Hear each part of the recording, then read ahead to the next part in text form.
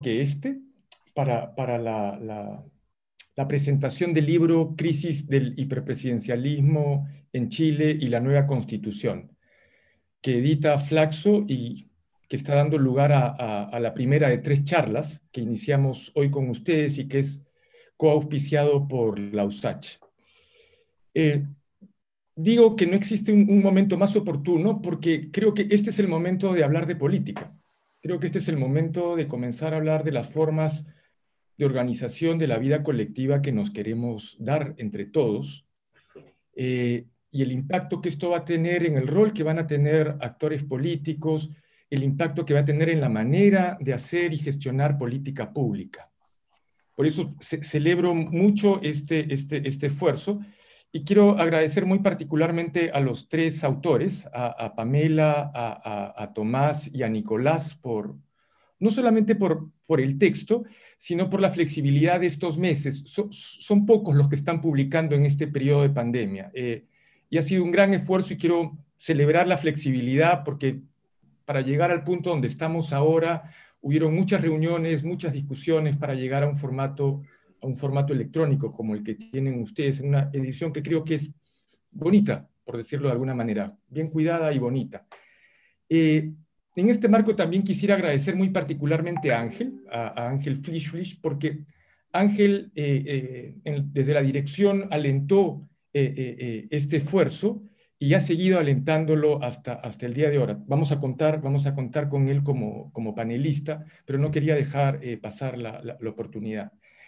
Eh, eso, no quiero dar más, más espacio a, una conversación muy larga porque creo que es el tiempo de, nuestros panelistas y espero que tengamos una muy buena discusión y conversación. Gracias. A ti, Lucía. Seguro, seguro así será. Y bueno, estamos con ponentes de lujo. Eh, les voy a presentar brevemente. Antes que nada, eh, a petición de Pamela, disculpar al doctor Marcelo Mella, decano de la Facultad de Humanidades, que había eh, planificado hacer inicialmente una apertura a través de unas palabras y por eh, cuestiones de agenda y dificultades no, no he podido hacerlo, pero está presente. Eh, entonces paso a presentarles eh, Pamela Figueroa, politóloga, parte de la red de politólogas, doctora en estudios americanos, académica de la Universidad de Santiago de Chile. Eh, Arturo Valenzuela, profesor emérito de Gobierno y Servicio Exterior de la Universidad de Georgetown y Ángel Flisfish, cientista político y profesor investigador de Flaxo Chile. Eh, el orden de presentación, habíamos quedado que comenzará Ángel, continuará Arturo y finalizará Pamela para presentar estas reflexiones. Cuentan eh, cada quien con 20 minutos.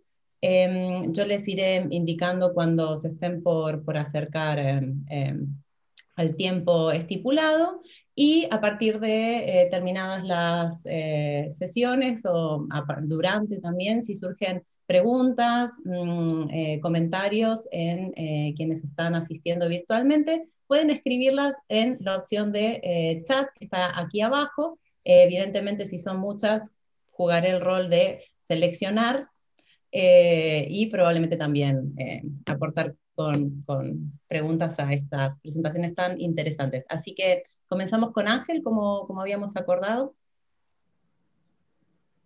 Bien, buen, buen día a todas y todos. Eh, y muchas gracias a Pamela, que fue realmente la que me incluyó, digamos, en este panel. Permítanme eh, partir estas reflexiones con una anécdota. Un día, en 1990, conversaba en La Moneda con un amigo el jefe administrativo de la SECPRES, un DC recalcitrante, entre comillas, el recalcitrante, sobre la experiencia de la Unidad Popular y su triste fracaso. En un giro de la conversación me dijo, mira, el peor error que cometió Allende fue declarar que él no podía, que él no era ni podía ser el presidente de todos los chilenos. Efectivamente, en algún malhadado momento que no he podido rastrear, el presidente Allende declaró eso. Mirando retrospectivamente, hoy es claro que esa declaración investiga abiertamente contra un sentido común arraigado en la cultura política nacional. El presidente de la República representa a todos los chilenos y chilenas, siendo su misión el bien común de todos ellos. Todo rol de representación política adquiere su legitimidad por referencia a una ideología específica que define el perfil de quienes lo desempeñan, caracterizando la relación de representación que les es propia. ¿A quienes representa? Cómo los representa cómo los debe representar. En el caso del rol presidencial, la ideología que lo legitima tiene raíces profundas en la historia. Limitándonos al mundo occidental, se la puede remontar al menos a la Edad Media tardía. En su esencia, tiene como ancestro la teología política de, comillas, los dos cuerpos del rey, sustento ideológico de las monarquías occidentales de la modernidad temprana. Esquemáticamente, esa teología afirma un dualismo en el rey. El rey es cuerpo físico contingente, su cuerpo natural, fusionado con su cuerpo político, superior al natural, pero conformando una unidad con el natural. Dualismos de esta especie se proyectarán en la historia ideológica de la figura presidencial. Piénsese en la distinción contemporánea entre jefe de gobierno, en cierto modo el cuerpo natural, y el jefe de Estado, el cuerpo político. Al igual que siglos atrás, ambas jefaturas se fusionan, corporeizándose en la misma persona. Ciertamente, la de Estado, corporeización de, de la soberanía estatal, es superior a la de gobierno, sujeta a la contingencia política pero ambos son una en la persona presidencial. Ciertamente el gran secularizador de esta teología política es Hobbes. Hobbes dice, el soberano emerge de un pacto al menos mayoritario, pacto, no el cuerpo divino, del que no es protagonista, razón por la cual, comillas, todos ellos, tanto quienes votaron a favor como quienes votaron en contra, autorizarán en lo sucesivo todas las acciones y juicios de ese hombre como si fueran los suyos propios capítulo 18 del Leviatán, encontraré la Como sabemos, la misión de ese soberano es imponer, el soberano de Hobbes es imponer una vida pacífica entre los pactistas y protegerlos de otros hombres. Una definición específica de bien común. La ideología que legitima la figura presidencial y por ende el presidencialismo adjudica desde los orígenes a quienes desempeñan el rol una personalidad fuera de lo común. Y ello deriva de la modalidad misma de designación de esa persona, elección popular con rasgos plebiscitarios. Por ejemplo, veamos qué dijo James Madison en el contexto del debate constitucional estadounidense en junio de, 1870, de 1789. Comilla, al considerar que el primer magistrado será designado por los sufragios de 3 millones de personas, cifra que con toda humana probabilidad en unos pocos años se duplicará no es de presumir que se elegirá una personalidad viciosa o de mal carácter. Si el gobierno de cualquier país en la faz de la Tierra estuvo protegido respecto de la, de la designación de caracteres ambiciosos o intrigantes para la primera magistratura del Estado, se puede decir con certeza que es el caso de la Constitución de los Estados Unidos. Ahora bien, esta asociación entre una suprema magistratura y características especiales de las personas que la desempeñan reemerge, creo, con Weber al, asociar la noción de carisma, al asociarle la noción de carisma, que será manoseada sin contemplaciones hasta hoy, con la legitimidad unipersonal de rey plebiscitario. Me parece que la evidencia histórica y contemporánea proporciona un mentiz más que claro respecto de una posible correlación entre presidencias y rasgos personales positivos fuera del ordinario de las personas que las han desempeñado. Prefiero no ejemplificar yo no escuché eh, eh, eh, el debate de ayer en la noche en Estados Unidos, pero sería quizás un buen ejemplo. Otro atributo que se ha relevado en términos de destacar la excepcionalidad del cargo es la personalización o corporeización de la corporalización de la soberanía del Estado en quienes lo desempeñan. El presidente, como dije antes, es jefe de Estado. Para citar una posición extrema en esa línea de argumentación, puedo recurrir a Carl Schmitt, comillas, el Estado es algo más que un pacto realizado por individuos contra Hobbes. Y algo diferente de eso. La persona representativa de la soberanía es mucho más que la suma total de todas las voluntades particulares participantes. En esta medida, el nuevo Dios es trascendente vis a vis todos los socios contractuales. Lo que se podría llamar de ideología presidencialista en sus diversas encarnaciones, a mi juicio, no resiste hoy el proceso de secularización de la política iniciado con la modernidad. La democracia representativa y sus instituciones arrancan su legitimidad de la representación de intereses. Puesto de manera más asertiva, el funcionamiento de las instituciones democráticos representativas consiste primordialmente en representar intereses de los representados, sobre la base de las relaciones entre representantes y representados. Para ir al rescate de la institución presidencial, se podría recurrir a ese componente de la ideología presidencialista que destacaba ese amigo mío, con cuya opinión inicié estas reflexiones, el bien común o interés público, si se prefiere. Creo que la ideología del bien común no resiste el embate de un enjuiciamiento crítico que apele a la evidencia. El ejemplo más socorrido para defender la existencia de intereses comunes que constituirían el bien común es el de los males comunes, más concretamente intereses asociados a sucesos catastróficos. Estaría en el interés de todos que se definieran e implementaran políticas que los previnieran o controlaran sus efectos. No obstante, aún en esos casos, males públicos, hay intereses contrapuestos. Ejemplo, contemporáneo, las políticas sanitarias frente a la actual pandemia. Hay quienes, quizás la mayoría ciudadana, priorizan el objeto del menor número de contagios, pero también los hay quienes prefieren políticas menos severas, priorizando el menor impacto negativo posible en actividades económicas. Recordemos el film El tiburón o el drama de Ibsen, Un enemigo del pueblo.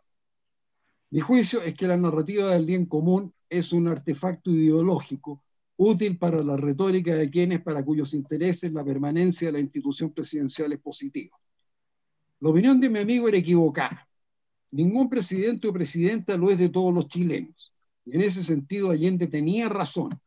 En lo que se equivocó fue en abrir un flanco a sus enemigos, posibilitándoles recurrir a la ideología presidencialista para afirmar que infringía normas básicas definitorias del rol presidencial. Se puede argumentar que en el desempeño de jefe o jefa de Estado sí hay una normativa que le exige orientarse por el interés de todos, pero además es sabido que un discurso en la Asamblea de Naciones Unidas puede ser criticado por, los adversarios políticos y que la política exterior es una cuestión de debate político. Para abreviar, la presidenta o presidente es una figura política y por consiguiente tiene siempre connotaciones conflictivas respecto de su oposición. Posiciones como las de Schmidt, Chantal Mouffe y Laclau no son tan desaceptadas sino enemigos versus amigos, al menos las relaciones entre adversarios o actores antagónicos son consustanciales a la política. Cambiando de giro, el enjuiciamiento negativo del régimen presidencial en términos de la inflexibilidad política de la institución es propio de lo que podríamos llamar la escuela de Juan Linz, uno de cuyos miembros destacados es Arturo Valenzuela. Mi opinión es que en términos de funcionalidad para la gobernanza y para superar situaciones conflictivas críticas, el régimen presidencial es altamente disfuncional. No obstante, frente a la línea Lynch de teorización e investigación ha surgido una contracorriente, cuyos impulsores la han bautizado de presidencialismo minoritario coalicional. Según estos autores, no obstante reconocer que el régimen parlamentario posee funcionalidades en términos de gobernanza superiores al presidencial, las predicciones negativas de la corriente Lynch no se sostendrían las situaciones de presidencialismo coalicional minoritario lo demostrarían. Para esos autores, entre otros uh, para esos autores, esas situaciones se caracterizan por un presidente o presidenta que pertenece a un partido que es minoritario en términos de escaños en el Congreso. Ese déficit lo salva el propio presidente o presidenta, construyendo como protagonista principal, facteur, en el lenguaje de los autores, una coalición con mayoría de escaños parlamentarios, inmediatamente antes de iniciar, perdón, antes de iniciar su mandato. Aparte de este desafío, tiene que mantener la coalición durante su mandato, tener un buen entendimiento con ella durante el periodo de pato cojo y frecuentemente actuar de modo de posibilitar una sucesión que aguarde afinidad con sus propias orientaciones. El presidente o presidenta utilizaría por consiguiente para esos fines los siguientes medios asociados al cargo para generar payoffs, ¿no? para construir, mantener y manejar la coalición. Primero, poderes legislativos. Segundo, distribución de cargos, ministros, altas autoridades públicas, etc. Tercero, poderes en partidos políticos. Cuarto, autoridad presupuestaria. Quinto, intercambio de favores. Vale la pena destacar que en términos de poder legislativo, los autores de esta corriente construyeron una escala de 1 a 8, con 8 máximo poder, en la que Chile alcanza 8 puntos siendo los países siguientes Ecuador, Ucrania y Rusia con cinco puntos cada uno. Digo yo, la caracterización del presidencialismo chileno como hiperpresidencialismo es más que plausible. Ahora, dentro del grupo de nueve países considerados por los autores de la corriente examinada, el caso chileno constituye una clara excepción y no responde a la caracterización del tipo de situación que ellos designan como presidencialismo coalicional minoritario. Primero, los presidentes o presidentas no son constructores de coalición en Chile, inmediatamente antes de asumir el mandato. Inversamente, son, perdón, inversamente son eh, productos de coaliciones ya construidas, las que originan el candidato o lo candidata a la presidencia y constituyen la, la coalición presidencial posteriormente. En la construcción, por otro lado, de la coalición presidencial, el candidato, candidata, no, posteriormente devenido presidente, presidenta, a lo más puede haber jugado históricamente en un rol menor en la construcción de esa coalición. Creo que nuestra historia reciente lo demuestra. Este punto lo reconocen explícitamente los autores de la corriente politológica que estoy examinando. Segundo, en Chile la presidencia se caracteriza como minoritaria, como es el caso hoy en Chile, no porque el presidente o la presidenta pertenezca a un partido que es minoritario en términos de escaños en ambas cámaras, sino en razón que la coalición presidencial es minoritaria en el Congreso, el actual mandato de Piñera. Ese rasgo de coalición presidencial minoritaria a la chilena es fundamental y es lo que pone en cuestión la, la arquitectura hiperpresidencial chilena. Como acontece hoy, ello lleva a una situación que opone una coalición opositora mayoritaria versus un presidente, presidenta, apoyado en el Congreso por una coalición minoritaria, lo que vivimos hoy. En esta situación, el presidente la presidenta no se encuentra inerme, posee recursos de poder como urgencias, vetos, iniciativas exclusivas de ley, etcétera, que le permitan trabar con la coalición opositoria mayoritaria una guerra política continua, tal como a la que hemos asistido hoy en día. La pregunta obvia es por qué el presidente, la presidenta y la coalición mayoritaria presidencial no responden a esta situación procurando ser factores de una coalición parlamentaria que sea mayoritaria, o si procuran hacerlo, ¿por qué fracasan? De hecho, el reclamo sostenido desde la presidencia hoy y la coalición minoritaria, no, Chile vamos por una política de acuerdos, puede interpretarse como intentos de superación de la situación mediante coaliciones ad hoc.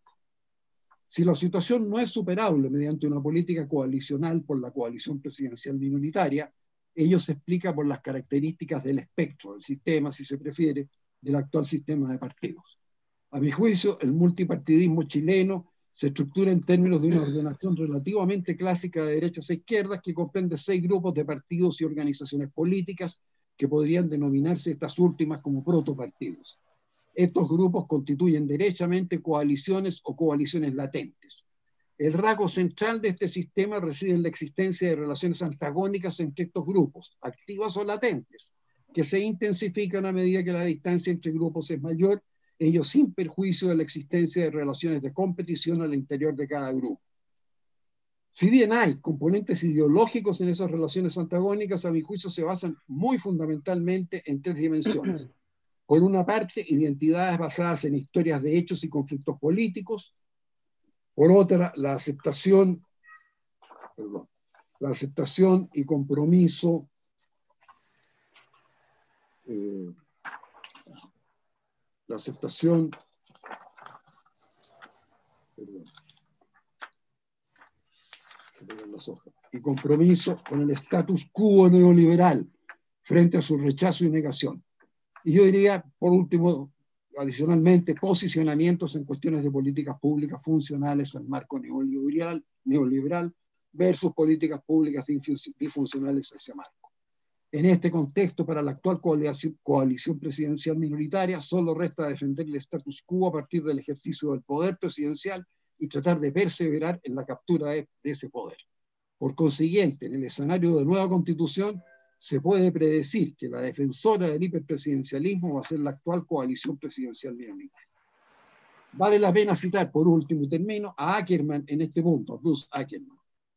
Comillas, hay casi 30 países, principalmente en América Latina, que han adoptado sistemas del tipo estadounidense. Todos ellos han sucumbido a la pesadilla linciana Es posible evitar la pesadilla linciana.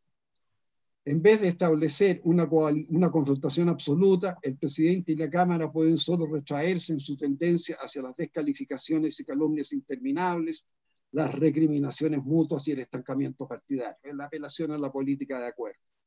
Todavía peor, los poderes en contienda, y esto es lo que sucede, creo, pueden usar las herramientas constitucionales a su disposición para hacerse la vida difícil entre sí.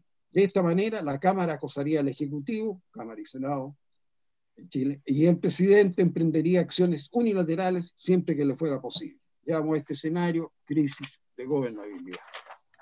Para finalizar, creo que en general el presidencialismo, y no solo el hiperpresidencialismo, es un régimen sustentado en ideologías obsoletas y disfuncional a la gobernanza y gobernabilidad. En el caso de Chile, ver la solución a las crisis que provoca conflictos de alta intensidad entre ejecutivo y legislativo, en la posibilidad de presidencialismos coalicionales minoritarios, como han sido descritos por Chasty, a los cuales me referí, y otros, simplemente no son viables. Muchas gracias por la atención.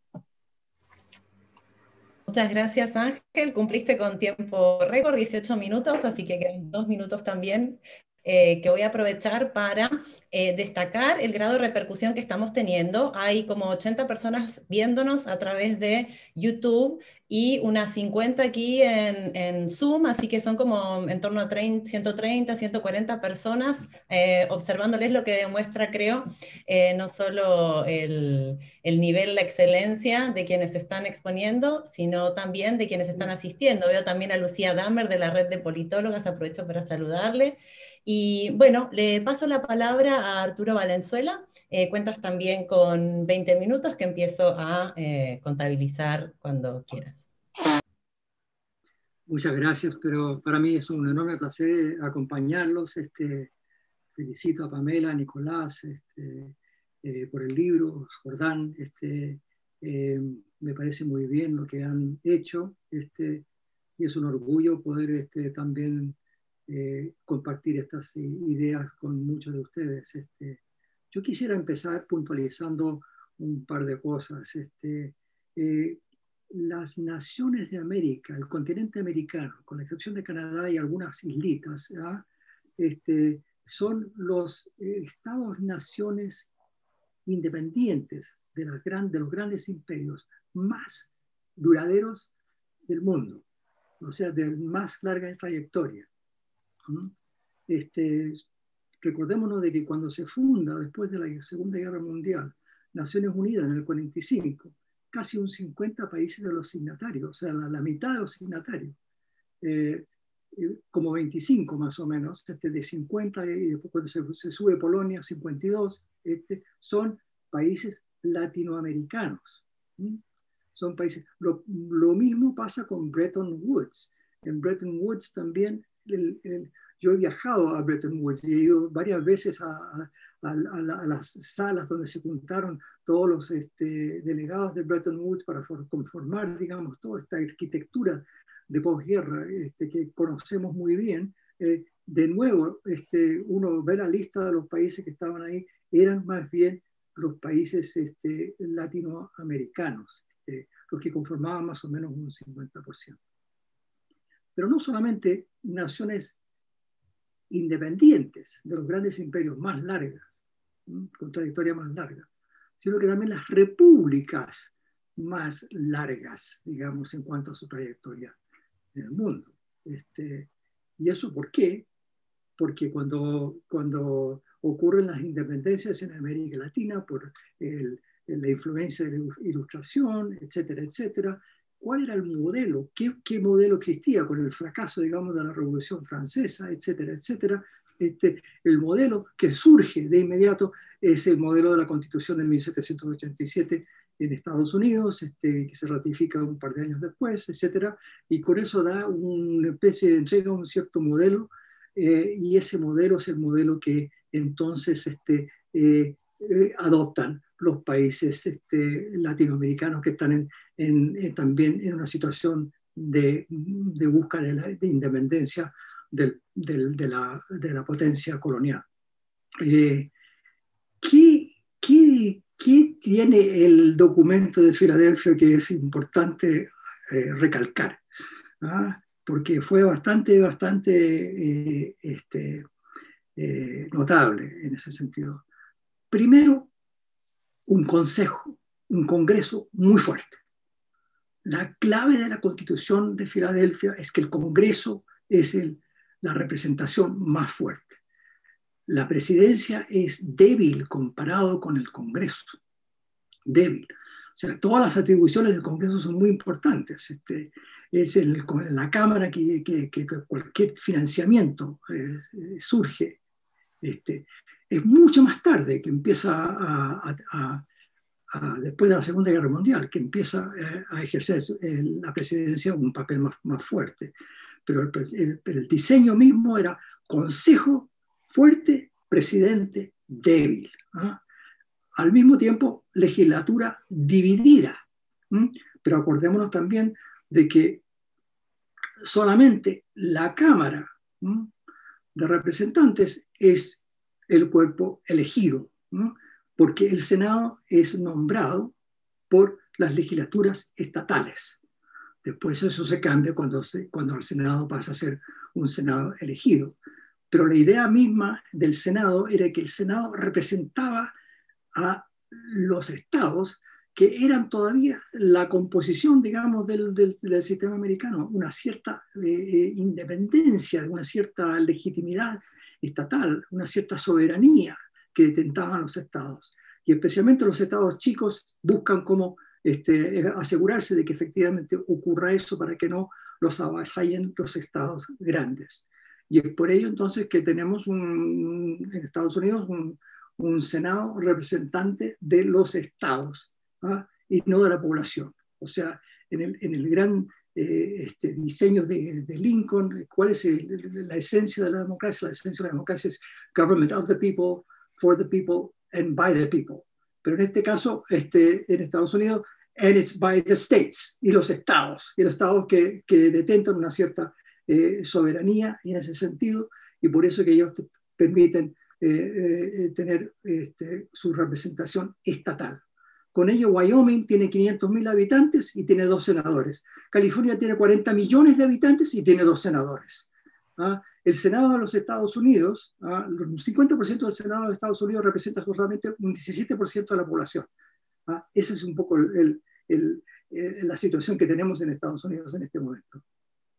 Ahora, este, eh, habiendo dicho eso, es bastante curioso que al copiar el sistema norteamericano, este, muchos de los estados latinoamericanos este, se constituyeron como, estados unitarios y no como estados federales. Y es por ello que es una curiosidad bastante grande que hayan también copiado la, figura del Senado y, por otro lado, la Cámara de Representantes, no siendo, digamos, estados este, federales. Por último, no quiero que se me quede en el tintero, el gran poderío en Estados Unidos público siempre estuvo al nivel de los estados. El, gobierno federal es un, este, el, el, crecimiento del gobierno federal es un tema que empieza eh, con, la, con la, antes de las, un poco antes de la Segunda Guerra Mundial, de la Primera Guerra Mundial, un poco antes. Bien, este, a ver, termino esa reflexión diciendo eh, lo siguiente. Este, eh, me animó un poco Ángel cuando se, cuando se eh, comenta la situación de Allende. Este, y de hecho mi reflexión, mi propia reflexión sobre muchos de estos temas surge justamente de mi trabajo sobre el que de la democracia en Chile. Y efectivamente el tema de un presidente minoritario, lo que, lo que lo que sufrió Allende con este, lo que sufrió el país y lo que sufrió este, la, la, la eh, ciudadanía ¿ah? con esta situación de un presidente que se elige con un 36,2% del voto. ¿ah? Ahora, a pesar de que el Chile se pas, había que pasar al Congreso en ese momento, ¿ah? eh, por una correlación, y, y, eso, y, es un mito que siempre se apoyó al, al, primero porque, la, la, este, porque se le daba el pase al primero. No es cierto, o sea, se le dio el pase al, al primero, pero se dio el pase al primero porque la coalición eh, eh, posible ¿ah? surgía de esa forma. Si no, probablemente no, se había, no habría ocurrido eso. Ahora, ¿qué pasa? Este, en, Chile se le pide a Allende un estatuto de garantías este, y, eh, y, con eso la democracia cristiana, que sacó solamente un 29%, a pesar de que sacaron un 54% en la elección del 64. ¿ah? saca un 29%, Allende saca un 36,2%, Alessandro un 34,8%. Francamente, si eh, eh, se hubiese hecho una coalición seria, de, digamos, del, del partido eh, de la fuerza minoritaria para crear un gobierno, el que habría salido presidente en ese momento habría sido Alessandri y no Allende. ¿ah? Y probablemente se habría... De, de, esa reflexión sale todo, todo mi, mi pensamiento sobre el parlamentarismo. ¿ah? O sea, el caso chileno fue el que, el que, el que, me, que me mostró el camino de que, qué es lo que pasó aquí. ¿ah? Eh, y acordémonos de que a pesar de que en América Latina este, eh, se instalaron estos, estos este régimen eh, republicano presidencial, francamente le ha ido bastante mal a, ese sistema en toda su historia, en toda su historia si nos remontamos al siglo XX, ¿ah? entre 1830 y 1980, un 42% de todos los cambios de gobierno son por golpe de Estado. ¿ah? Si vamos a la, época de los 80, este, son 20% de los cambios de gobierno que son por golpe de Estado, pero en ese, en ese caso es porque ya se estaba empezando, estaba terminando la Guerra Fría y se empieza a vivir un poco el sistema. Este, y con ello, entonces, este, efectivamente, eh, lo, que va ocurriendo es que se abre con el fin de la Guerra Fría el periodo más largo de continuidad constitucional, eh, constitucional en toda la historia de América Latina. ¿Pero le ha ido bien? Más o menos, no más como dirían. Este, ¿Por qué? 20 ahora presidentes y presidentas no han terminado su gestión de gobierno. 20 en esta época de la mayor continuidad constitucional. ¿Y qué, cuál es el trasfondo de este, de este, problema? ¿Por qué esta crisis permanente? ¿Por qué en estos sistemas presidenciales una crisis de partido pasa a ser una crisis de gobierno y que pasa a ser una crisis de régimen porque no hay una resolución, digamos, fácil de una situación de un presidente fracasado porque es un presidente o una presidenta minoritaria, que no tiene apoyo en el Congreso y que de repente tampoco tenía mayoría propia cuando efectivamente eh, eh, ocurre la elección presidencial. Y en ese sentido, lo que se destaca, y lo que destaca muy bien el libro, es que el sistema presidencial es un sistema, digamos, de doble, posibles doble minorías. La doble minoría presidente, que no refleja a la población, y parlamento, tampoco que refleja necesariamente a la población y ciertamente puede haber un desencuentro entre ambos. ¿ah? So government of the people, by the people, for the people, se encuentra terriblemente complicado con esto. ¿Cuál ha sido la situación que se, que se ha buscado en América Latina para resolver el problema este de presidencias de doble minoría? La segunda vuelta. La segunda vuelta ha sido, a mi juicio, la innovación más perjudicial que se ha hecho. Peor que en situaciones donde no hay una segunda vuelta. Presidente minoritario. ¿Mm? Como en México, que todavía no hay una segunda vuelta. Eh, ¿Qué pasa con la segunda vuelta? Con la segunda vuelta, la presidenta que sacó solamente un 36%, se cree la presidenta de todos los ciudadanos. Eh, o el presidente se cree de todos los ciudadanos. Y no lo es. Es la segunda, tercera o cuarta preferencia. Segundo, y esto es bien importante, sectores afines que debían estar pensando cómo hacer una coalición gobernante, se matan entre ellos para poder llegar a la segunda vuelta. Caso del Perú, por ejemplo. ¿ah? Tenemos a Keiko por un lado, derecha. Eh, este, bueno, ¿ustedes vieron qué pasó con los del centro? ¿Mm? Castañeda, Toledo, PPK, se pelearon entre ellos. Muy difícil hacer una coalición posterior con esa situación. Y con ello sale el izquierdista Ollanta. ¿Mm? No es un arreglo fácil. Pero tercero, la segunda vuelta efectivamente produce o provoca o agrava más la situación de una presidencia minoritaria en el Congreso, porque se van presentando más opciones para la primera vuelta. Y en ese sentido se llega a la segunda, con una posibilidad, con, hasta cierto punto, con una situación de una presidencia que ya no va a poder gobernar. ¿Mm? Y con ninguna válvula de escape. ¿Ah? ¿Cuál es la gran diferencia entre, tengo cinco minutos, así que estoy ah, de acuerdo que tengo que cuidarme, este, entre un sistema eh, eh, parlamentario y presidencial? Que el sistema eh, parlamentario, la representación es por el Parlamento, de todo. Mientras que en el sistema presidencial hay doble soberanía y estas dos soberanías, entonces, como hemos dicho, son minoritarias. Y en ese sentido yo creo, francamente, de que lo que se tiene que hacer es, muchos de los señalamientos que se presentan en el libro son, son eh, eh, al clavo. ¿Ah? Esto es lo que hay que hacer. Yo he sido un exponente desde mucho tiempo, desde que escribí el artículo en el año 85 que apareció en en el Centro de Estudios Públicos del Parlamentarismo, pero también haciendo un poco la reflexión de que la gente me dice, ah, no, es que no se puede porque nuestra idiosincrasia, etcétera, etcétera, nosotros nos, nos gusta presidentes fuertes, etcétera, etcétera. No, no dándose cuenta también que las idiosincrasias también tienen que ver mucho con las reglas del juego del sistema que efectivamente provocan eh, este, cálculos políticos que más adelante. Así que lo que se debería hacer es y aquí estoy de acuerdo con esto, este, ha sido mi, mi, mi, propuesta hace mucho tiempo, de que efectivamente se debería volver a una segunda vuelta en el Congreso. No es viable no tener segunda vuelta, pero la segunda vuelta se debiera hacer en el Congreso.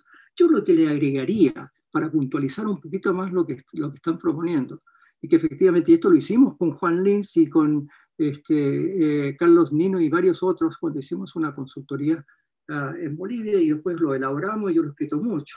Lo que se debería hacer es que, habiendo eh, eh, terminado la primera vuelta, si un candidato no, no eh, tiene apoyo mayoritario, entonces se parlamentariza el presidencialismo y se pasa a una segunda vuelta en el Congreso.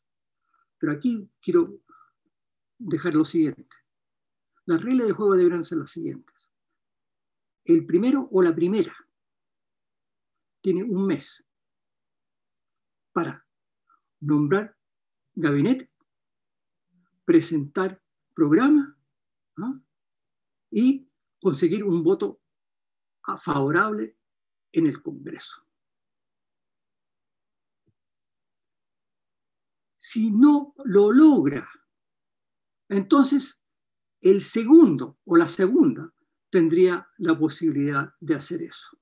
Con eso tú vas creando, si volvemos a la teoría de juegos, tú estás creando toda una lógica política ¿ah? para tratar de ir viendo cómo se va a conformar un Congreso posterior. Y yo, yo permitiría, francamente, que parlamentarios pudiesen entrar al gabinete, que también sería aprobado eh, por esta. Eh, y termino con esto porque estoy viendo en el reloj mío, por lo menos, que ya se me fueron los 20 minutos. Este, termino con esto diciendo de que eso yo creo que va a empezar a garantizar mucho más una lógica que, que conlleva a coaliciones y acuerdos. ¿Ah? que es lo que ha faltado con este sistema eh, que ha sido destructivo justamente del, del, tema, de coaliciones y de acuerdos. ¿ah? Esa lógica de poder tratar de llegar a entendimientos que son tan importantes para poder gobernar. Y por último, este, sí, si se viniese abajo todo el sistema, tendría que haber alguna válvula de escape. No, no tiene sentido tener una presidencia minoritaria de doble minoría que está completamente así, eh, eh, con un choque de trenes en todos lados, este, como las 20 presidencias que no han podido terminar su periodo. Solamente han habido dos países con golpe de Estado del, del pasado, Haití y Honduras. El resto son, qué sé juicios políticos o los presidentes que renuncian, etcétera, etcétera, etcétera. Ah, entonces, en ese caso, francamente, durante los primeros dos años es importante tener efectivamente la posibilidad de llamar a una elección posterior que a su vez tendría, pero, y ahora sí que termino, este, pero eh, les garantizo de que cuando el, presidente dice que tengo la facultad de posiblemente eh, cerrar el, o pedir una elección ah, ah, anticipada del Congreso para ver si se puede resolver este impasse. Por lo general, lo que pasa es que el Congreso prefiere no ir a una reelección. Eso es lo que ocurrió cuando Sanguinete amenazó eso en Uruguay, pero un 42%, un 42% de los, todos los sistemas parlamentarios de posguerra en Europa han sido de minoría. ¿Y por qué han sido de minoría? Porque no le ha convenido a la mayoría, a veces muy dividida, ir a una elección. Y con eso son gobiernos minoritarios, pero son gobiernos minoritarios que son capaces de poder gobernar.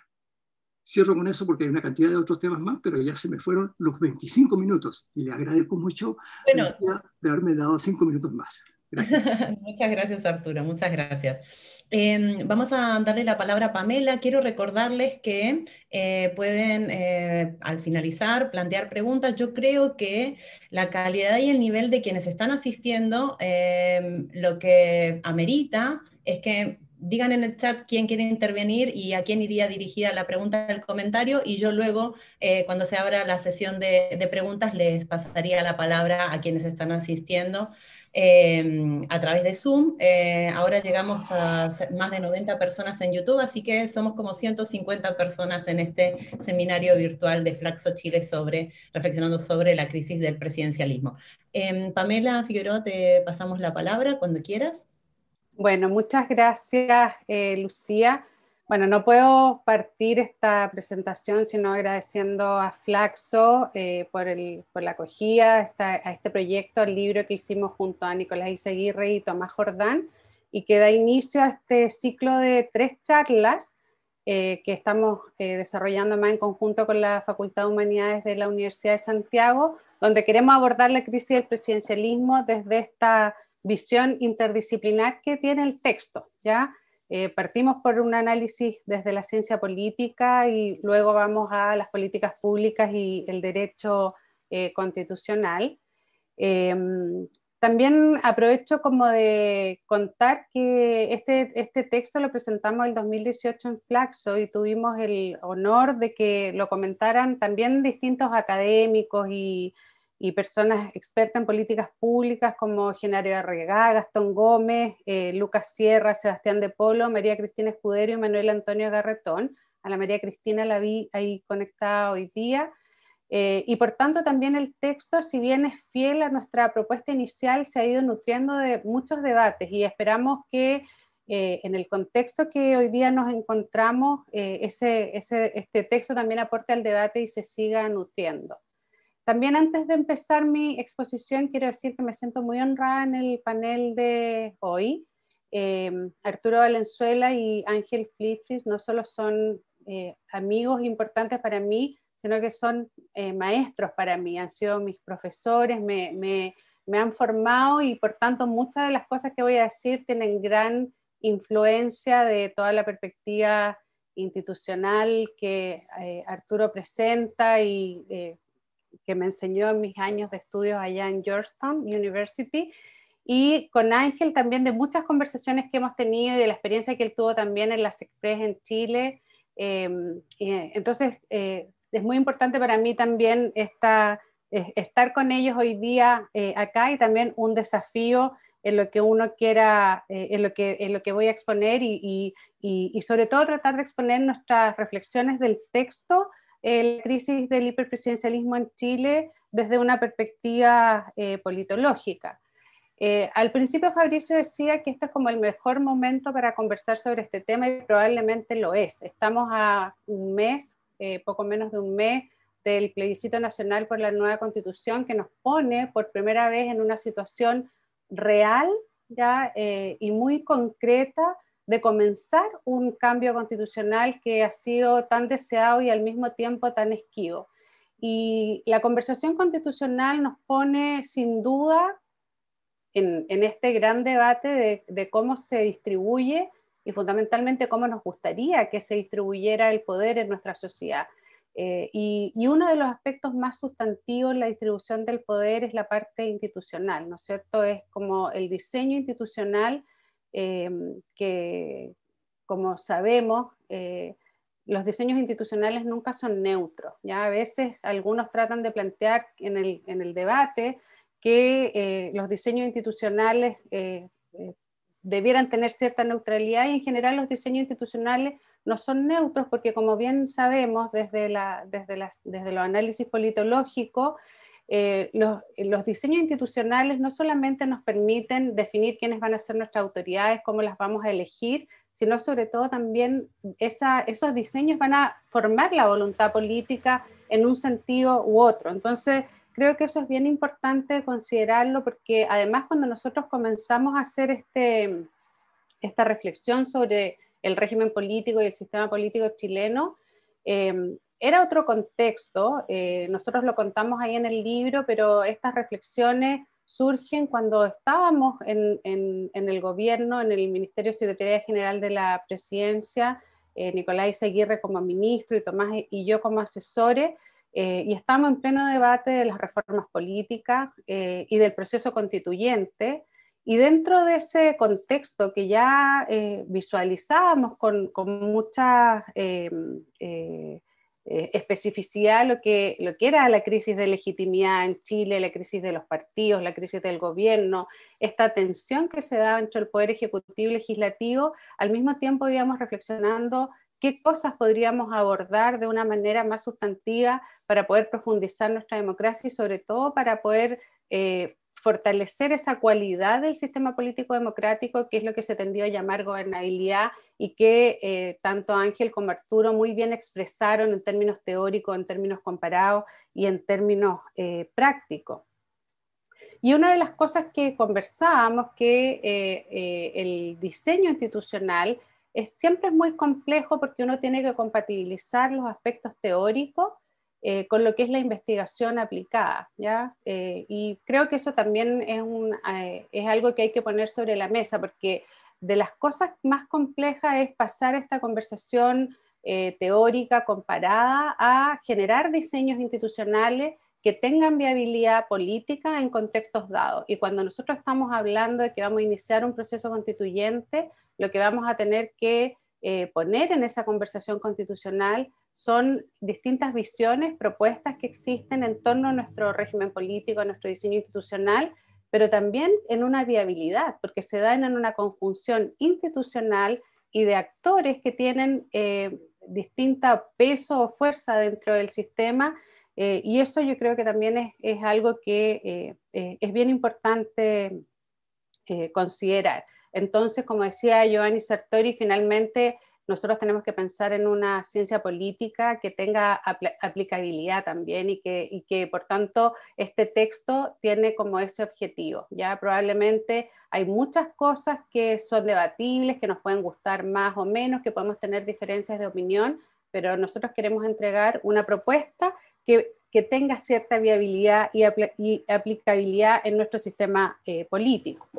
En esas reflexiones que fuimos haciendo sobre el régimen político, una de las cosas que, nos dimos cuenta es que eh, Chile siempre había sido analizado como un caso de excepcionalidad. Ya muchos textos de, Arturo ya lo señalaba como en términos comparados y, Ángel también desde, desde eh, la perspectiva más de análisis con otros países de América Latina. Eh, y esa excepcionalidad de Chile eh, fue mostrando como que al, finalmente no éramos tan excepcionales. Nosotros escribimos este texto en 2018 y probablemente si lo miramos hoy día en 2020, también hoy día con más profundidad vemos esa no excepcionalidad que antes tendíamos a dilucidar, que nos parecemos mucho más al resto de los países de América Latina cuando tenemos esta tensión que ya se mencionaba entre sistemas presidenciales, presidenciales y en el caso de Chile hiperpresidencial, con congresos débiles y sistemas de partidos multipartidistas que tienden a la fragmentación. Eh, y por tanto, en esa, en esa lógica, nosotros mm, eh, lo, que veíamos, lo que veíamos y, una de las cosas que quiero plantear es que para poder abordar el tema de la democracia representativa desde el diseño institucional, también tenemos que ampliar un poco la mirada a no solamente fijarnos en la democracia representativa, ya que es lo que hemos tendido a elaborar con mayor profundidad, mecanismos de representación a través de los sistemas electorales, los sistemas de partidos, que, nos permitan abordar ese, ese, aspecto de la democracia que es la representación, sino que también tenemos que abordar las otras dos dimensiones que Habermas siempre menciona sobre la democracia, que es la deliberación y la participación. Eh, y por tanto, pensar el régimen político y pensar el sistema político nos pone en esa eh, eh, disyuntiva de equilibrar las dimensiones de representación, deliberación y participación. Y creo que ese es un desafío no solamente para Chile, sino que probablemente para América Latina y también para las democracias a nivel más global.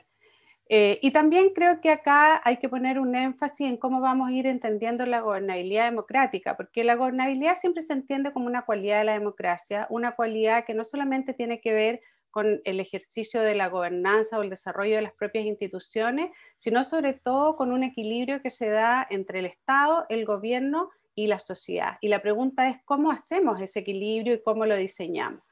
Entonces, en esa perspectiva, y espero que todos hayan podido revisar el texto, y si no, bueno, los invitamos a, revisarlo y vamos a seguir conversando sobre él. Nosotros eh, eh, proponemos una revisión sistémica del régimen político. Una revisión sistémica implica no solamente abordar la relación entre el Ejecutivo y el Legislativo, con las funciones presidenciales, las funciones del Congreso y la relación que sea entre ambos, sino que nos parece... Eh, clave también observar los otros subsistemas del sistema político, como es el sistema electoral y el sistema de partidos, porque el diagnóstico que nosotros hacemos, y creo que de alguna manera los anteriores eh, panelistas ya lo señalaban, nosotros estamos hoy día en un, en un sistema eh, que con mucha claridad el actual gobierno expresa es un sistema político que se encuentra bloqueado y trabado, ¿ya? Así lo describimos, ese es como el concepto que nosotros utilizamos. ¿Por qué se encuentra bloqueado y trabado?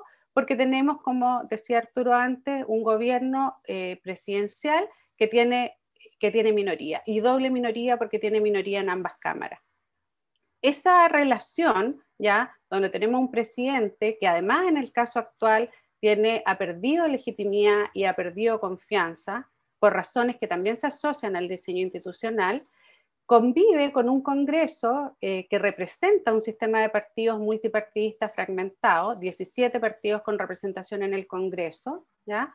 Eh, y que además, como el Congreso es débil y el sistema de partidos además tiende a la desinstitucionalización, la relación entre el Congreso y el Ejecutivo es, eh, es, más bien de competencia y de choque de poderes y no de colaboración. No hay ningún incentivo a colaborar eh, y menos aún cuando el presidente está en una situación crítica como la que tenemos actualmente.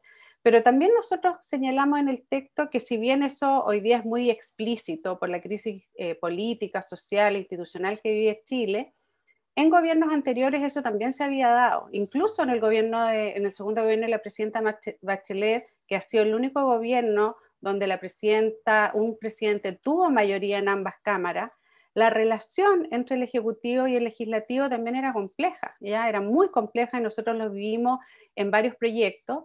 Eh, y, durante ese periodo donde el Congreso todavía era electo bajo el sistema electoral binominal, también había dispersión de partidos en el Congreso, ya había 12 partidos con representación.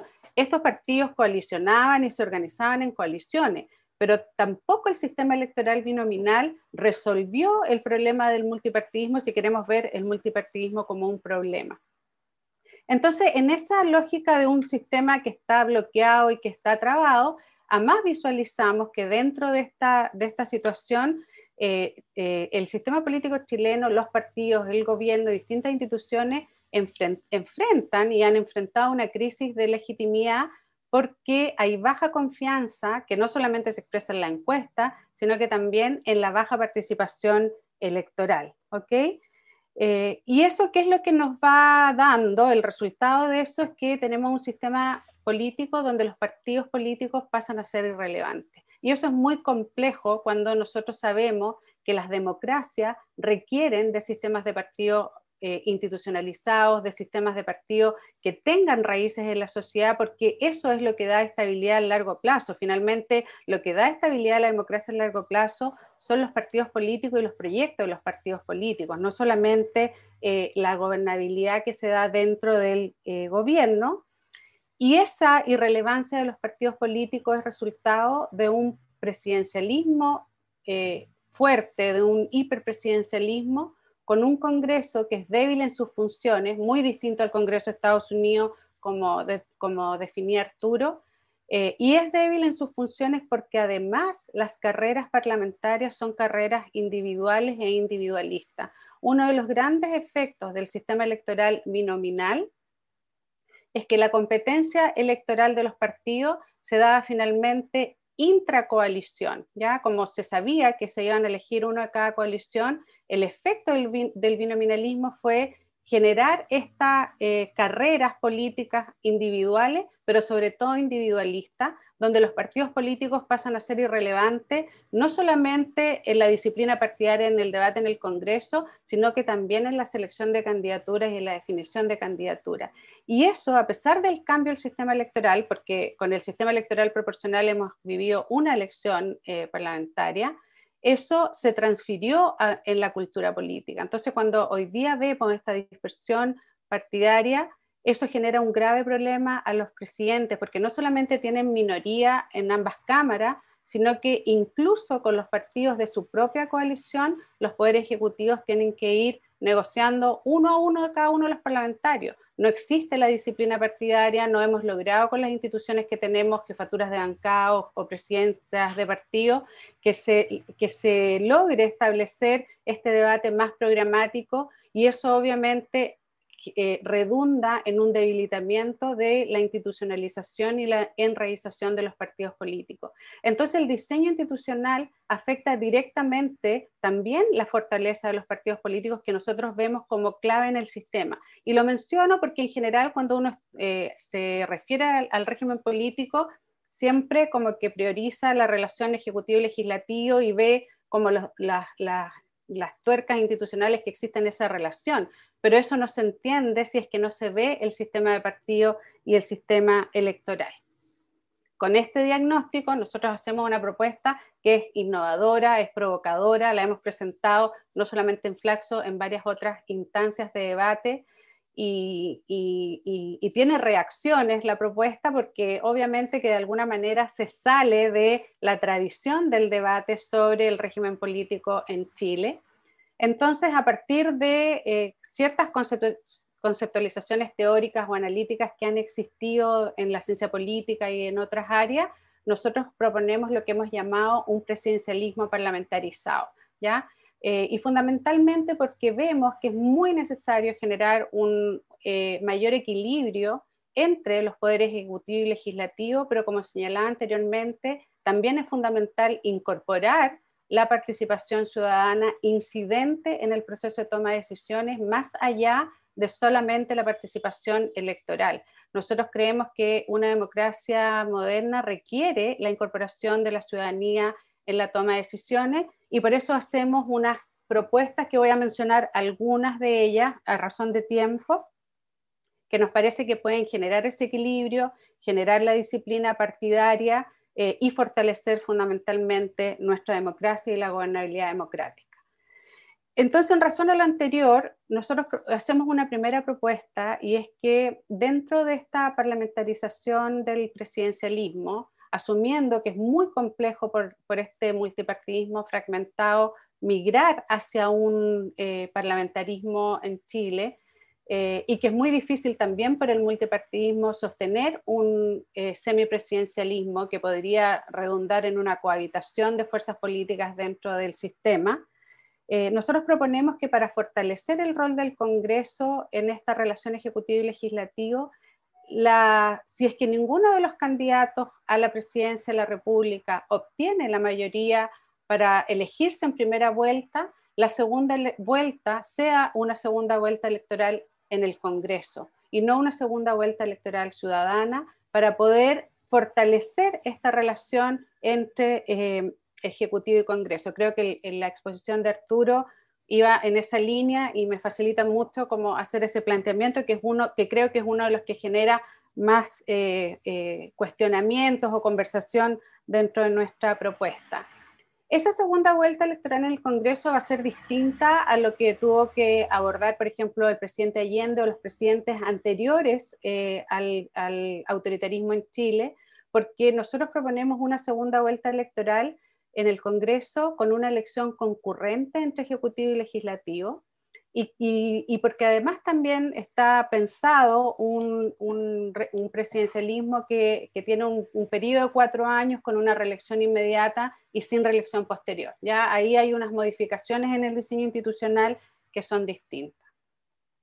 Pero también pensamos que para que ese Congreso que va a ratificar al presidente sea un Congreso que represente mejor a la ciudadanía, ¿ya? Nosotros proponemos un Congreso unicameral y no bicameral, ¿ya? Porque el, bicameralismo en Chile es un bicameralismo bastante particular. Arturo decía que una de las cosas que no se transfirieron del presidencialismo norteamericano a América Latina era diferenciar un Estado federal con un régimen presidencial. Nosotros tenemos régimen presidencial con un Estado unitario, y por tanto el Senado, que buscaba representar esos territorios, no cumple ese rol en Chile. ¿ya? Y en general, además, el Senado en Chile eh, tiene el proceso legislativo en Chile hace que las cámaras sean espejo, entonces tampoco cumple una diferencia en ese sentido.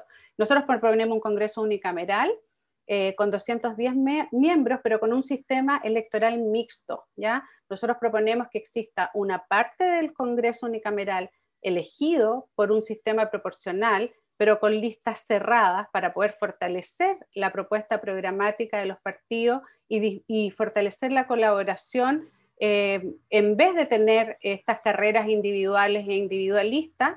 Y proponemos que parte del Congreso sea electo eh, en, en distritos uninominales con voto mayoritario. Entonces así podemos combinar la representación territorial con la representación proporcional y podemos fortalecer los partidos políticos a la vez que em, eh, fortalecemos también la representación eh, territorial.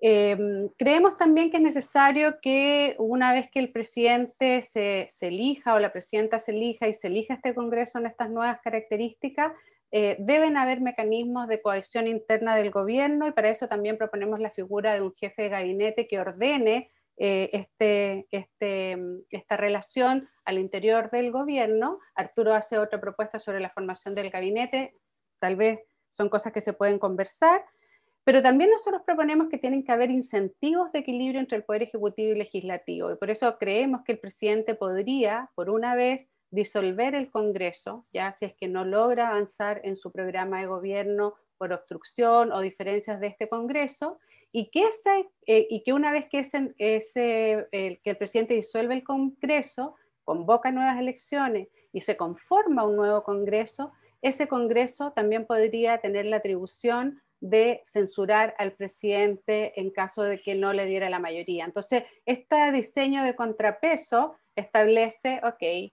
muchas gracias Lucía, ya voy terminando, esta relación de, em, entre, entre uno y otro.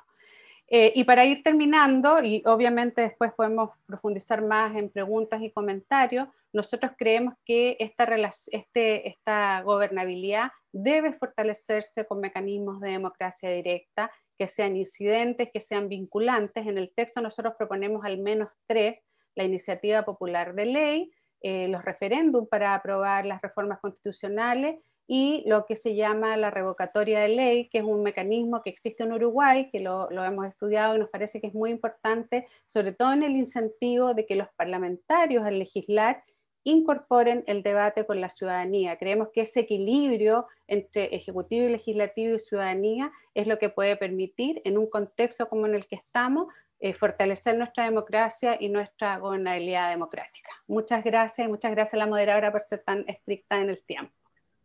Muchas gracias. Em, y de hecho, eh, Pamela, esta descripción que estabas dando generó bastantes preguntas en YouTube, así que mm, dando, o sea, eh, y entusiasmo, eh, así que damos lugar a una serie de, de, preguntas. Lo que les pido es, si hay alguien aquí en Zoom que quiera hacer preguntas, que por favor la escriba por, por el chat. Em, mientras tanto, voy a ir eh, diciendo, y en todo caso eh, les podemos dar la palabra, aprovechando, digamos, que están asistiendo a través de Zoom. Em, y mientras tanto voy leyendo algunas preguntas que estuvieron en, en YouTube. ¿Les parece si recopilamos unas eh, tres, cuatro preguntas y damos eh, lugar a, las respuestas en el orden en que, están planteadas. En este caso, eh, Estefanía Hernández pregunta, ¿cómo se puede generar esta gobernabilidad democrática a través de este sistema de partidos multipartidista polarizado? Perdón, esta pregunta es de Ariel Valdebenito sistema multipartidista polarizado con baja legitimidad. Eh, y eh, un rol protagónico en las definiciones institucionales. Estefanía Hernández pregunta, ¿cómo podría ser compatible la segunda vuelta parlamentaria en un contexto social que vive, eh, o en el contexto social que vive Chile hoy? ¿Tendría esta fórmula asidero en la ciudadanía? Luego una pregunta de Brian Chales a Arturo Valenzuela. Si la propuesta de ¿sí? las propuestas y algunos eh, partidos sobre proponer un sistema semipresidencial con todo lo que esto implica se podría llevar a cabo ah, con una nueva constitución, es decir, que quedara plasmado en esta eh, nueva constitución. Em, si les parece, ah, una más, dice, muy interesante la propuesta del Congreso unicameral con sistema electoral mixto, proporcional y distritos uninominales eh, mayoritarios. ¿Puedes profundizarla, Pamela? Gracias. Así que, si les parece, damos em, lugar a quien em, quizás es más eh, oportuno. Em, ¿Quieres empezar tú, Arturo? Está silenciado. Sí. Sigue silenciado, Arturo. Eh, Arturo, activar micrófono, por favor. Ok. No, si me puedes repetir la pregunta que es para mí. Perfecto, te la repito. Dice, si la propuesta, si las propuestas y algunos partidos sobre proponer un sistema semipresidencial, con todo lo que ello implica, sería posible de llevarse a cabo en un contexto del nuevo proceso constituyente en Chile. Ok. ¿Quieres empezar respondiendo tú? Luego pasamos la palabra a Pamela, Ángel, o ¿quieres empezar tú, Arturo? Bueno, si quieren, este, puedo empezar y empiezo con esa, esa pregunta. Este, eh, francamente el, sistema de partidos no está necesariamente relacionado al, tema del semipresidencialismo y además no estamos hablando aquí en esta conversación de un semipresidencialismo como se entiende eh, eh, el modelo francés, digamos, una situación donde hay un, un, presidente y un primer ministro, que es algo que se ha discutido mucho en Chile, pero también en muchos otros países. Este, francamente, esa es una solución que no ha funcionado bien. Este, eh, prueba de ello es que efectivamente en muchos países del mundo, en vez de pasar a sistemas parlamentarios directamente, este se ha pasado a un sistema semipresidencial, especialmente en los países de la ex Unión Soviética, y ha sido bastante desastroso, este, porque lo que ha, ocurrido es que se, se combina un, un conflicto entre el presidente y el primer ministro. Esto se ve eh, altamente también en un país de América Latina que directamente la influencia francesa es muy grande, que es Haití, donde todo, casi todos los roces y los, quiebres en Haití tienen que ver con el nombramiento del primer ministro. Así que, francamente, no estamos hablando de eso. Ahora, el sistema de partidos políticos es obvio algo que, que tiene que surgir en parte por la representación de los distintos sectores de la sociedad. Y concuerdo mucho con Pamela y con otra gente que ha dicho que, francamente, lo que para mí, lo más dramático de lo que ha pasado en Chile es el colapso, digamos, de la identidad partidaria que existía antes. Este, eh, si uno, Chile se diferenciaba enormemente de tener este, un sistema de partidos donde la gente, incluso la gente que no podía votar porque no tenía necesidad, o sea, porque no, no tenía alfabetización, ¿ah? de todas maneras se inscribía de alguna forma ¿ah? Con ser de izquierda, con ser del partido X, etcétera, etcétera. Eso como que ha ido colapsando. Ha colapsado en parte por una cosa que no dije en mi presentación original, que el, el, el, tema más importante a mi juicio de la reforma que no se hizo en Chile, en toda esta época, desde, desde que se, estamos con la constitución de, Pinochet, es devolver, incluso antes, porque también este, en esto tiene, tienen que ver las reformas que se hicieron en el año 70, en, el último gobierno de, de Frei Montalva, ah, que es devolverle al Congreso sus eh, este, eh, atribuciones importantes. El Congreso ha pasado a ser un instrumento que efectivamente tiene que ratificar o no al presidente. Y eso ha contribuido enormemente al deterioro de los partidos políticos, porque los partidos políticos efectivamente ya no,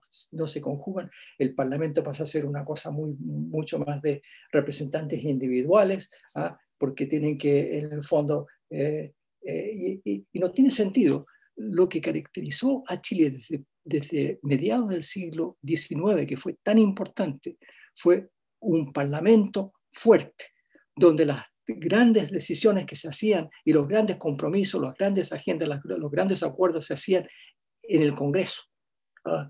y eso, obviamente, en el siglo XX es bastante importante. Así que con eso quiero. Ahora, ¿cómo se puede generar eh, eh, con un sistema polarizado? Yo creo nuevamente, este, lo, que, lo, que, lo que me anima a mí es que lo que uno puede tener es esta noción de que la ciudadanía está en contra de los partidos, lo que la ciudadanía está en contra del Parlamento, la ciudadanía está en contra de los políticos. Este, lo, que la tiene que hacer la ciudadanía, y esto es para repetir algo que dijo Pamela, es que es terriblemente importante. La democracia representativa requiere partidos políticos. ¿ah?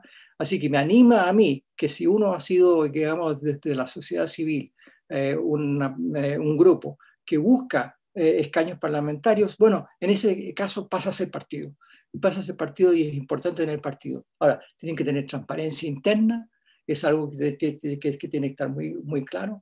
Aquí lo que no hemos podido hablar, francamente, es que aquí hay tres niveles en la crisis de representación que, Chile, que, tiene Chile, que es el sistema electoral, el sistema de partidos políticos y el sistema también de gobernabilidad. Y todas estas cosas se conjugan porque lo único que tiene que hacer es crear los incentivos políticos para la cooperación. ¿Cómo se, cómo se, se, buscan incentivos políticos para la cooperación a pesar de diferencias importantes que uno pueda tener? ¿ah? Y los partidos juegan ese papel muy importante. ¿ah? Este, la eh, este, eh, ¿Cómo puede ser factible la segunda vuelta parlamentaria? Como digo, este, estoy de acuerdo con, con esta cosa de que la segunda vuelta tiene que ser en el, Parlamento, el hecho de que se haga en el Parlamento no deslegitimiza la cosa. Si el Parlamento efectivamente tiene partidos que son representativos de la sociedad, y así tienen que ser los partidos, tienen que ser representativos de la sociedad, y por ello mismo tienen que ser también altamente democráticos internamente. ¿ah? Si uno, la verdad, quiere, eh, se preocupa por, por, la política y se preocupa por lo que está pasando en el país, eh, eh, forma un partido político, entra a un partido político, cambia ese partido político, eh, anima a ese partido político a tener mayor coherencia, a mayor eh, este, eh, sentido ideológico o programático, etcétera, etcétera. Y con eso este, ver cómo efectivamente uno puede estar en una situación donde se pueden llegar a ciertos compromisos o, acuerdos necesarios que tienen que ver con el hecho de que la ciudadanía no está necesariamente de acuerdo en todo. La clave para toda esta conversación tiene que ver que las sociedades se dividen por una cantidad de razones. ¿ah? Se dividen. No es cierto de que es el pueblo contra los políticos, el pueblo contra la, la, élite política, ah, este, empresarial. Eh, se dividen por una cantidad de razones. Entonces, en ese sentido, eh, este, apoyar a los, partidos es muy importante. Entonces, lo dejo ahí porque me, me alargué un poco demasiado en responder a mi pregunta. Gracias, Arturo. Eh, Pamela, ¿quieres eh, responder tú? Luego hay otra reflexión general que es cómo responden la contradicción de que por un lado la crisis actual es debido al supuesto hiperpresidencialismo, pero luego se habla de las dificultades para que el Ejecutivo logre acuerdos con el Legislativo. Entonces, si existiera un hiperpresidencialismo, el presidente impondría su voluntad su voluntad constantemente sin mayores sobresaltos. Creo que ahí hay que afinar quizás el concepto de hiperpresidencialismo, eh, pero les doy la palabra. Pamela.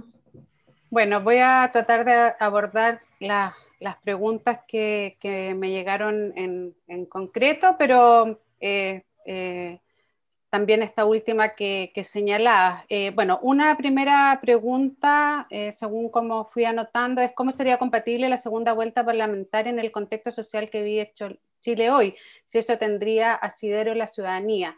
Bueno, obviamente nosotros estamos en una crisis de confianza que no es solo hacia las instituciones políticas, eso yo creo que también es importante ir tomando conciencia, o sea, los partidos políticos, el gobierno, el Congreso, probablemente son de las instituciones que tienen más bajos niveles de confianza, pero todos los estudios muestran que también otro tipo de instituciones, la iglesia, la empresa, la policía, eh, son instituciones que tienen baja eh, confiabilidad. Y en el caso de Chile hay otro elemento que ha sido bastante estudiado, sobre todo por los sociólogos, en Chile existe una baja confianza interpersonal, o sea, además los chilenos confiamos poco en las otras personas, entonces yo creo que hay que abordar ese tipo de, crisis, la crisis de confianza no solo eh, se, pueden como sobrellevar em, con compromisos, con promesas, sino con hechos y acciones concretas, ¿ya? Eh, el proceso constituyente ahora creo que va a ser un, aspecto bien importante y por eso todo el debate que se da en torno a eso eh, es de suma relevancia. Em, entonces, por eso nosotros pensamos y nuestra propuesta plantea que esa, esa confiabilidad en una segunda vuelta eh, electoral en el Congreso se da con, eh, eh, una reforma no solamente específica en ese aspecto del diseño institucional, sino que también eh, hacia los partidos políticos, se hablaba ahora de la transparencia, la democracia interna de los partidos, que es fundamental en este modelo, de un Congreso que sea más representativo y por tanto ese cambio en el diseño institucional sistémico, ya no solamente en un aspecto concreto que puede ser que no haya segunda vuelta electoral eh, eh, ciudadana, sino que en el Congreso va a fortalecer esa confianza que se transfiere a los parlamentarios. Si nosotros hacemos que el Congreso realmente sea el espacio de liberación política y que ahí estén representados eh, las distintas opciones de la ciudadanía, eso va a ser muy importante para la gobernabilidad eh, futura, ¿ya? Em, y, bueno, lo planteo de la siguiente forma también. Hace unos años a nosotros nos tocó trabajar en las reformas eh, políticas y una de las cosas que siempre la literatura, siempre de la, ciencia política señalaba es que para que los partidos políticos se fortalecieran y, tuvieran eh, menos una relación eh, más transparente con, entre el dinero y la política, era muy importante el financiamiento público de los partidos. Y eso se planteó en medio de una crisis más importantes que estaba teniendo Chile y el sistema de partidos.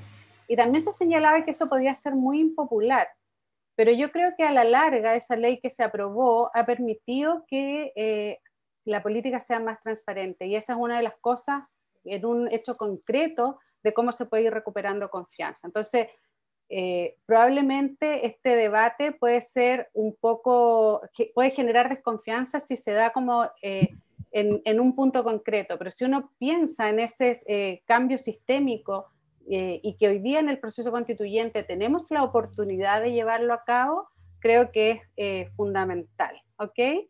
Em, la otra pregunta es cómo se puede generar gobernabilidad eh, democrática a través de un sistema de partidos polarizado. Bueno, algo abordaba Arturo también. Yo creo que Chile tiene una cultura de un sistema de partidos que es diverso, ¿ya? Eh, siempre se ha hablado este concepto de los tres tercios, que es un concepto que Arturo ha desarrollado, que lo, se trabajó también o sea, a partir de las tesis de Federico Gil. Em, y, por más que se trató de instalar a través del sistema electoral binominal una política con menos partidos, la política chilena tiende a la diversidad. Entonces, lo que yo creo que nosotros tenemos que buscar es en ese multipartidismo generar incentivos institucionales de colaboración y de transparencia partidaria que permita, en el fondo, eh, dar mayor legitimidad a los partidos y evitar la polarización. O sea, lo que nosotros tenemos que buscar es que dentro de ese multipartidismo se tienda la colaboración y que sea un multipartidismo más moderado y eso se logra a través de un sistema electoral donde sean más importantes los, los proyectos programáticos que las carreras individuales. Entonces ahí paso a la siguiente pregunta sobre esta idea del Congreso unicameral con sistema electoral mixto y bueno, está en el texto, así que lo pueden revisar en mayor detalle, pero nosotros proponemos un Congreso unicameral con 210 miembros, 210 representantes, de los cuales 60 se elijan en distritos uninominales eh, con un sistema mayoritario. ¿ya? Eso va a permitir que los líderes que tienen representación territorial puedan competir en esos distritos ¿ya? y representen los propios intereses eh, más de sus territorios, de sus regiones, ¿ok? Eh, y que además esta, este Congreso unicameral tenga 150 parlamentarios con distritos eh, plurinominales, ¿ya? Y que, esos distritos plurinominales se elijan mediante una elección de listas cerradas, ¿ya? Las listas cerradas fortalecen varios aspectos del sistema político. Uno es la colaboración a través de la disciplina partidaria. Dos, los proyectos eh, programáticos por sobre las candidaturas individuales. Tres, es bueno también para la paridad. Nosotros las, que hemos venido luchando por la paridad eh, de hombres y mujeres en el sistema político sabemos que las listas eh, cerradas son mucho más beneficiosas para la representación de las mujeres. Por tanto, las listas cerradas, eh, muestra la experiencia comparada, son muy importantes para fortalecer em, esos aspectos de partidos políticos más programáticos y una democracia más representativa. Si esto lo compatibilizamos con los distritos uninominales, podemos compatibilizar la idea de la representación programática de los partidos y los proyectos con una representación territorial eh, que también es tan necesaria en Chile, porque probablemente en el debate constitucional también vamos a hablar de la descentralización. Y hay cómo compatibilizar esa descentralización con un sistema electoral, eh, me parece que, que es bien eh, interesante. Em, y creo que esas eran mis preguntas específicas, así que sí, ya podemos ir siguiendo con, con las preguntas. Gracias, Lucía. Gracias, Pamela. Ángel, no sé si quieres eh, intervenir tú con algunas reflexiones. Nicolás Eizaguirre te pedía a ti también eh, profundizar eh, sobre la noción de o la opción de semipresidencialismo.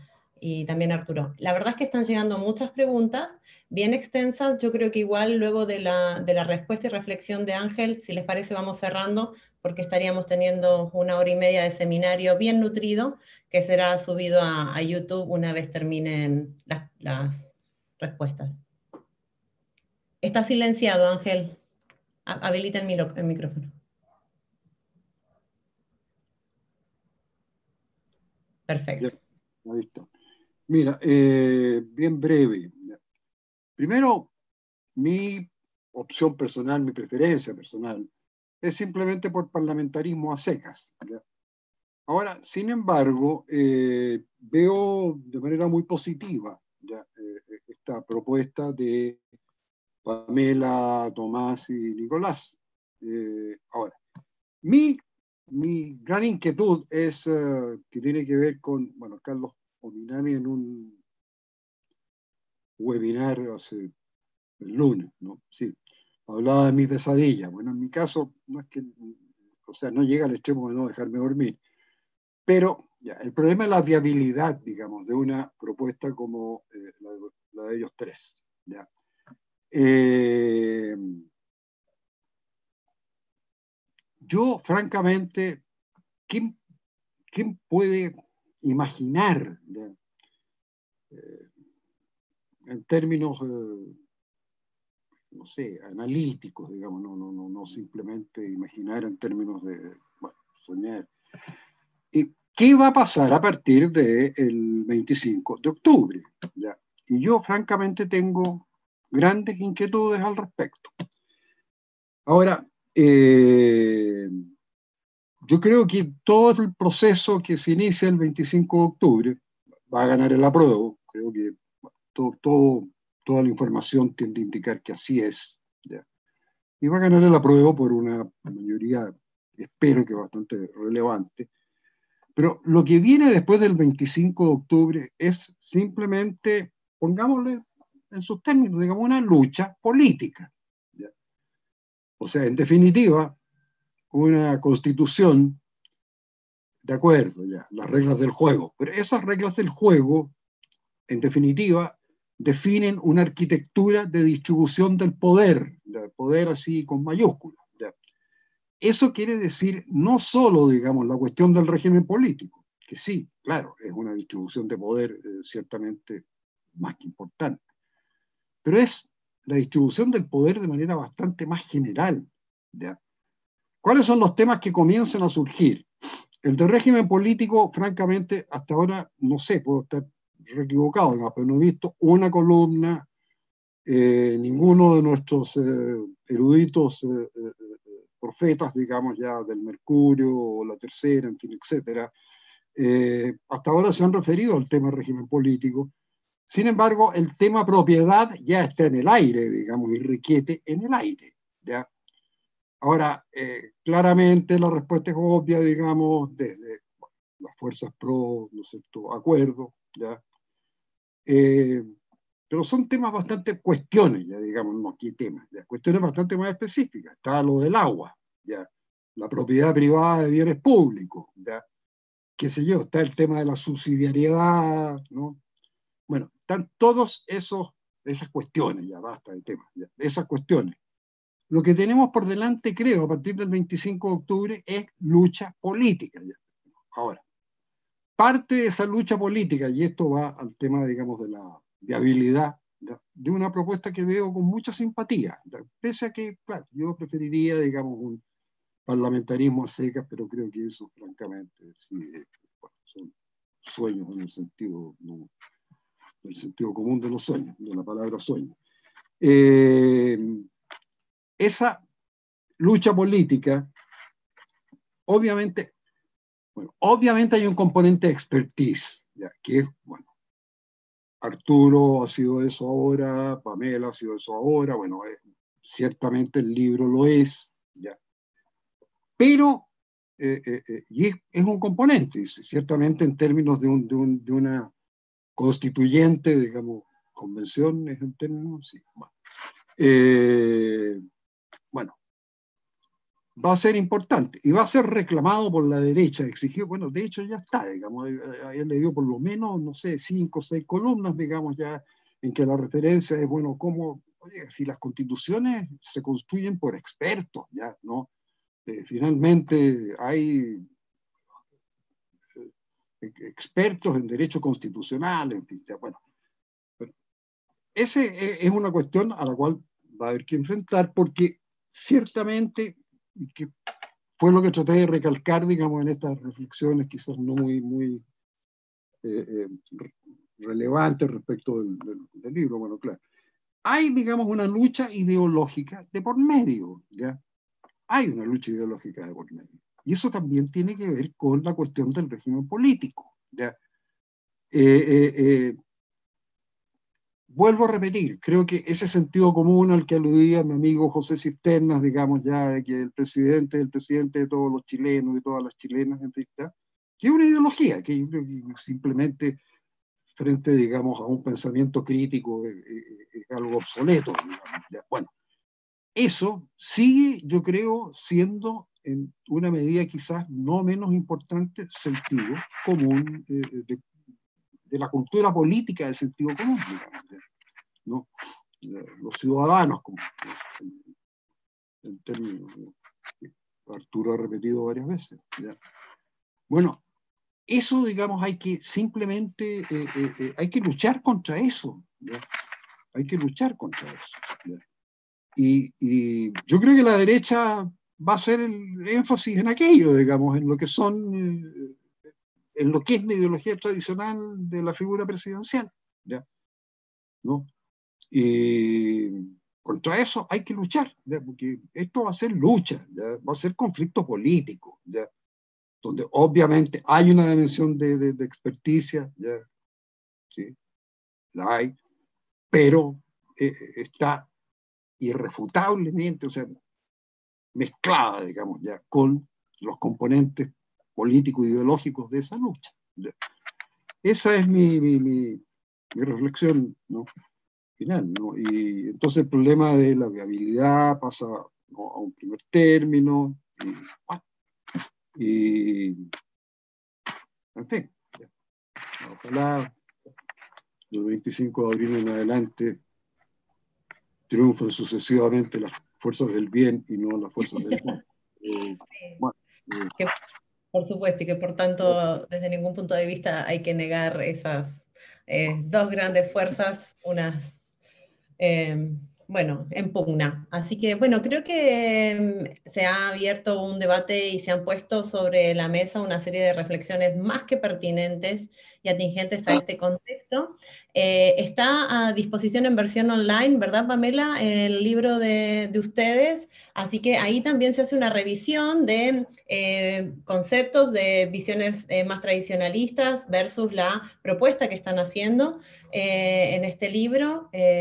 así que yo creo que lo que es, este debate, que es esta charla, que es la primera de una sucesiva serie de charlas, está abriendo, está haciendo una breboca de, de un montón de conceptos y nociones que, están, que están vigentes y que nos, nos pulsan a, optar por opciones. Eh, si les parece, hemos eh, cumplido con una hora y media pasadita de, charla, de seminario. Eh, les damos lugar a la invitación que tendrá lugar la próxima fecha, Fabricio, si me refrescas, o les está por acordar aún. El 7. El 7. Perfecto, así que ahí estaremos eh, y esperamos contar con su asistencia también nuevamente. Eh, les dejamos un saludo, eh, gracias a quienes han expuesto, personas de primer nivel, a quienes han asistido también. Y, será subido este video al canal de YouTube de Flaxo para que esté disponible, para que sea revisado cuando quieran. Un aplauso virtual.